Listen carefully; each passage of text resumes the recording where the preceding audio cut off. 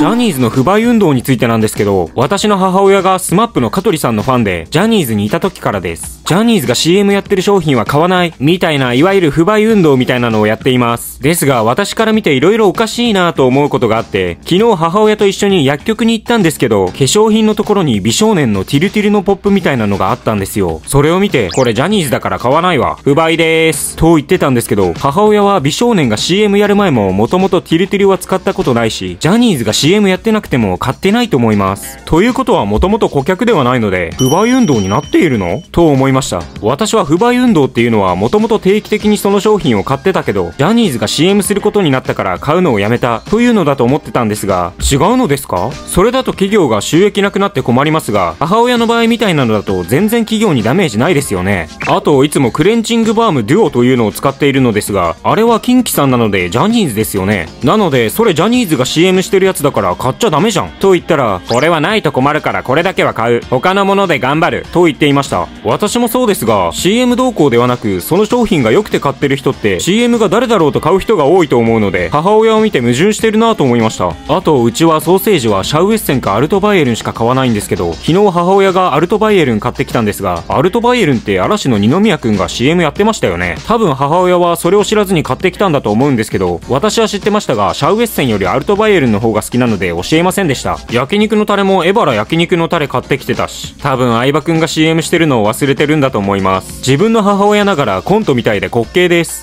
変わった人が家族なのは気の毒だと思います。